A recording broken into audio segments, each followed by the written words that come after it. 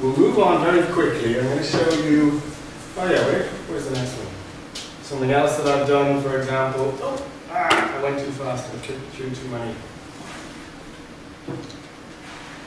Uh, here's another kind of an interactive type of activity where the students have to label the graph based on um, what's going on in terms of the average number of IT call center tickets in Germany. Uh, I teach some IT guys who work in a call center, so uh, we did this to, to work out various vocabulary for them. Um, anyone like a go? Anyone want to try? Um, Colin, Yeah. I, I used this uh, whiteboard in the company, and my experience was that just using it, it feels kind of awkward. You know, it's not like writing an homework. It was my feeling when used to. Do you remember the first time you used one of these on a flip chart? Probably felt it was kind of awkward as well, and not really like writing on paper, and the pen was fat, and it wasn't really the same size as a normal pen that you have. It's the same with this. The first time I started using this as well, I felt it was awkward, uncomfortable, my wrist wasn't quite at the right angle. It's a matter of kind of getting used to it. Okay, right. Yeah? Mike, um, maybe some of us have got um, fears about the reliability of this. It's DIY, Yeah. so maybe there's a question mark in our minds. How, how reliable have you found it? Uh, I found once you get practice with it, I mean, it's, it's 100% reliable once you get it up and running. Uh, the difficulty that I found was um, working out the angle that the camera is at. Um, the camera itself has a field of view of around 40% in this way, or 40, 40 degrees in that way, and around 30 degrees in that way.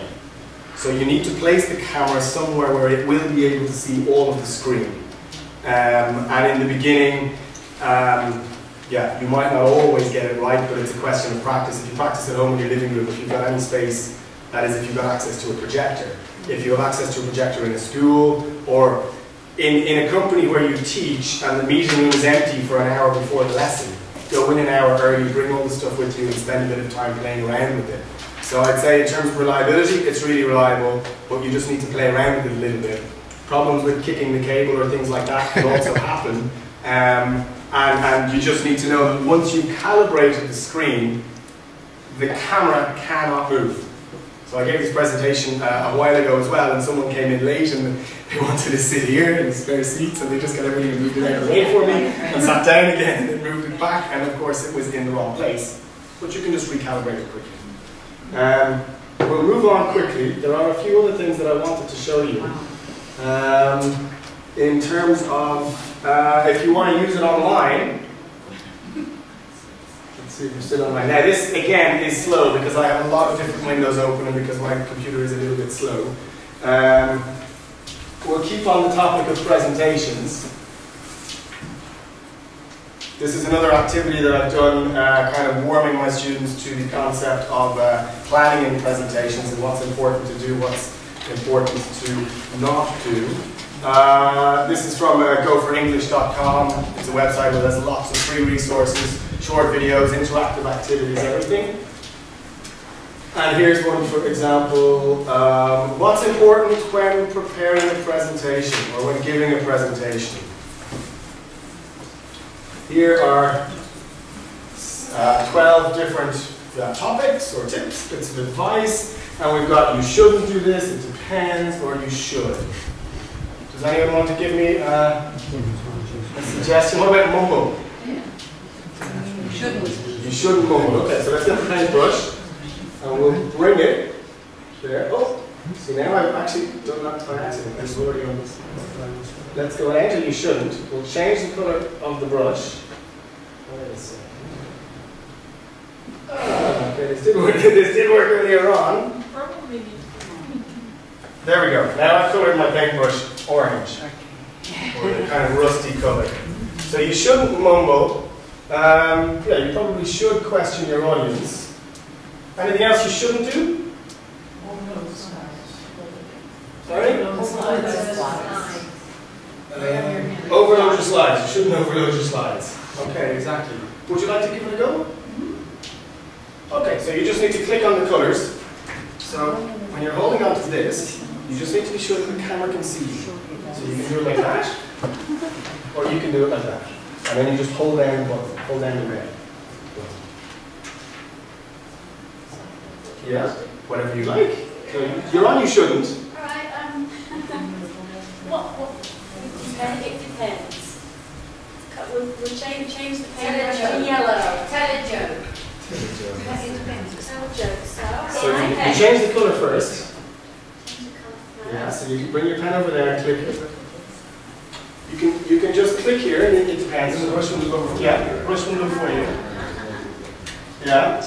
And then click on that. There, now you've changed your colour to yellow. So now you can go over to tell a joke and click on that.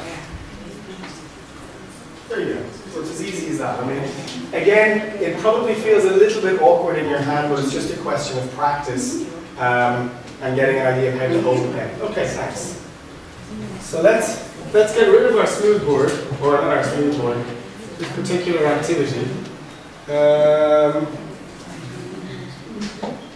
another nice thing you can do, this again is another online website called Triptico, which has lots and lots and lots of games. Most of them are for free, some of them are not, but most of them are. This one's word magnets, which is great fun. Type or paste the text you wish to scramble in the box below and press the next button. So, I'll jump over here quickly. Would someone like to give me a text or tell me a text? Could you say something for me? Uh, let's say we're all having a great time today. Speak for yourself. And we love Gavin. okay. Now, who wants ten bucks? Yeah, well, So here we go.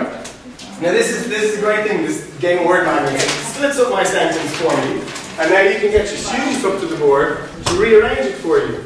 So for example, we're uh, we're all having and so on a great time.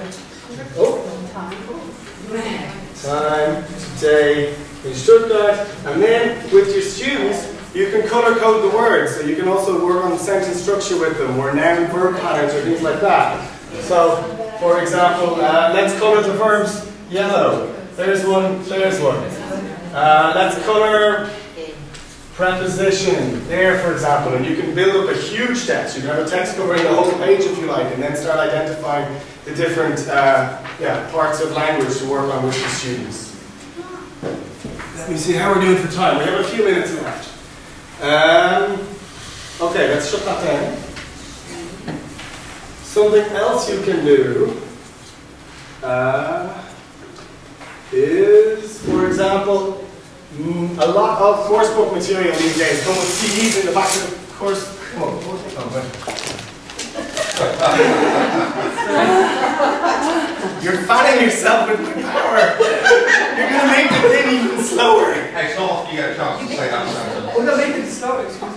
Yeah, absolutely. It's okay, it's okay. What I was going to say was a lot of um, a lot of course books these days come with a.